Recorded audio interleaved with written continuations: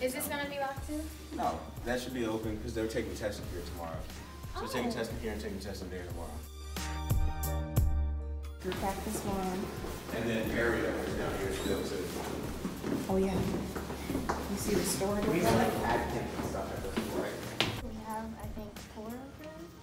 Um, and they can just be used for meetings and sometimes we study in them.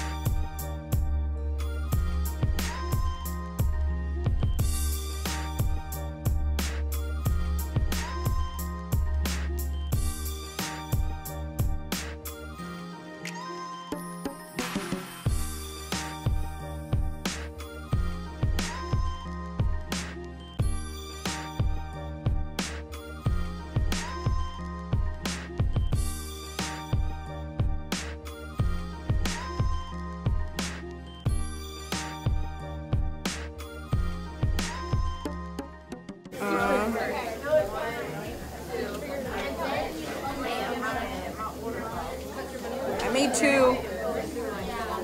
Probably wasn't supposed to.